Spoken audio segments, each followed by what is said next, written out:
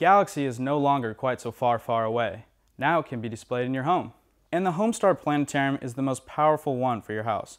A gorgeous display of 60,000 stars created right above you. What's special about this planetarium is that it's incredibly realistic because it uses the most advanced lenses, similar to the ones used in science museums. The star-filled sky rotates in the same direction as the Earth, letting you study the northern hemisphere.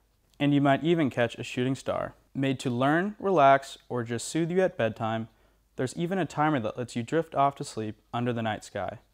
The inventor holds the world record for creating planetarium technology to show the most stars, over 20 million. It shows the stars that would be visible, but are more and more being hidden by all the artificial light in our cities. And it shows the countless stars our naked eye can't even see. He wanted to bring the same universe to people at home. Several of us at the Grommet use the Homestar, from grown-ups to kids, or even to create a calming ambiance in the family room. Wherever you live, and whatever room you're in, now every night can be a starry one.